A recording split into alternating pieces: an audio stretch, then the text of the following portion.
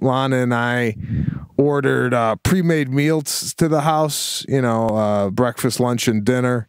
Yeah, Basically, yeah. take take it out of the refrigerator, heat it up, and they're all healthy meals like That's paleo. so suburban housewifey, bro. I'm sorry. you going to curves too in the afternoon? Holy fuck. hey, hey, I, drastic drastic measures needed to be taken Uh, apparently, because Linda. if we didn't